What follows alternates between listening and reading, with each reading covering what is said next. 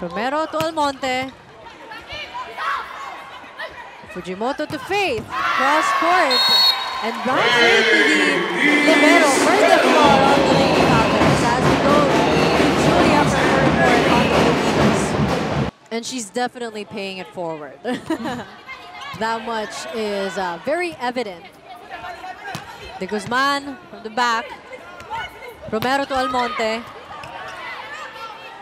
And so far, we're seeing a better first ball for the Blue Eagles. Yeah, look at that explosiveness from Faith these last two attacks.